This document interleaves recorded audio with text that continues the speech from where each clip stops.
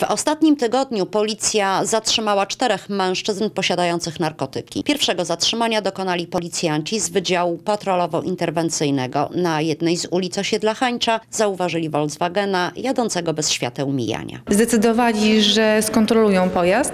Z kolei kierujący tym pojazdem, jak zauważył mundurowych, zaczął wykonywać, jak to policjanci określili, dziwne manewry. Mianowicie zaczął wjeżdżać na chodnik, przepraszam, na krawężnik, zjeżdżać z tego krawężnika, jakby nie był w stanie prawidłowo zaparkować y, pojazdu. Y, Kiedy policjanci zaczęli kontrolować y, kierującego, okazało się, że no mężczyzna i siedzący obok niego pasażer byli bardzo zdenerwowani. Po chwili jakby wyszło na jaw dlaczego.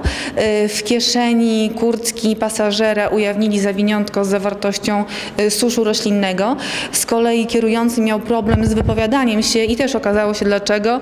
Wypluł zawiniątko też z zawartością suszu roślinnego. Badanie narkotestem wykazało, że znaleziony susz to marihuana. Pochodzący z Suwałk 28-latkowie usłyszeli już zarzuty. Grozi im kara pozbawienia wolności do trzech lat. Drugiego zatrzymania dokonali policjanci pełniący nocną służbę w centrum Suwałk. Tym razem wpadli 17 i 18-latek.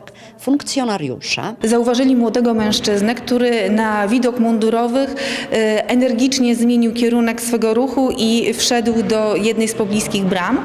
E, Policjanci postanowili sprawdzić, jakby co jest powodem takiego zachowania tego człowieka.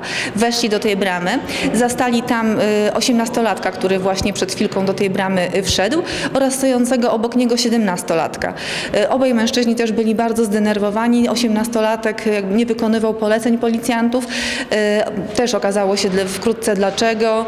Mianowicie 18-latek posiadał przy sobie torebkę z zawartością suszu roślinnego i drugą torebkę z zawartością białego proszku. Z kolei stojący obok niego 17-latek w kieszeni kurtki miał e, lufkę wypełnioną suszem roślinnym i wagę elektroniczną. W domu 18-latka znaleziono ponad 44 gramy marihuany i 5 gramów amfetaminy.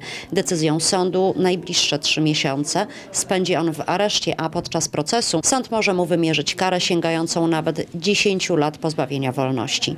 Młodszemu nastolatkowi grozi kara więzienia w wymiarze do lat 3.